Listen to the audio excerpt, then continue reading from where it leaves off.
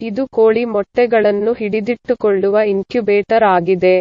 ಇದರಲ್ಲಿ 80 ಬಾತುಕೋಳಿ ಮೊಟ್ಟೆಗಳನ್ನು ಇಡಬಹುದು.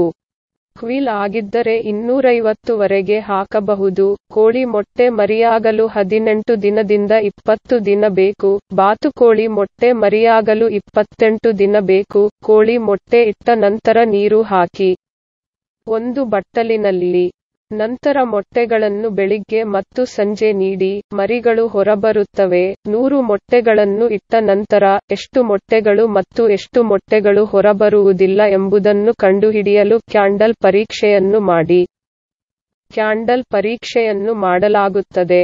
ಮೊಟ್ಟೆಯೊಡೆದ ನಾಲ್ಕನೇ ದಿನದಂದು, ಮೊಟ್ಟೆಗಳನ್ನು ರಾತ್ರಿಯಲ್ಲಿ ಕತ್ತಲೆಯಲ್ಲಿ ಇರಿಸಿ ಮತ್ತು ಟಾರ್ಚ್ನ ಬೆಳಕಿನಲ್ಲಿ ಅವುಗಳನ್ನು ನೋಡಿ.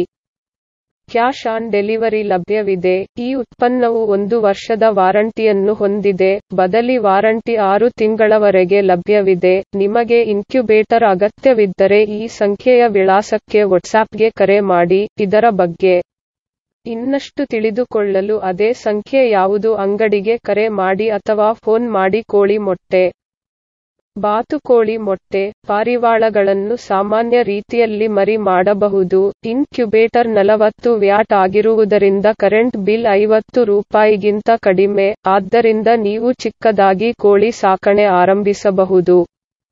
ಮನೆಯಲ್ಲಿ ವ್ಯಾಪಾರ ಈ ಉತ್ಪನ್ನದ ಬಗ್ಗೆ ಇನ್ನಷ್ಟು ತಿಳಿದುಕೊಳ್ಳಲು ಮತ್ತು ಆರ್ಡರ್ ಮಾಡಲು, ಲಿಂಕ್ ಅನ್ನು ವಿವರಣೆಯಲ್ಲಿ ನೀಡಲಾಗಿದೆ ಅಥವಾ ವಾಟ್ಸಾಪ್ ಲಿಂಕ್ ಅನ್ನು ಫ್ಲ್ಯಾಗ್ ಮಾಡಲಾಗಿದೆ. ಸಂಪರ್ಕಿಸಲು ಬಯಸುವವರು.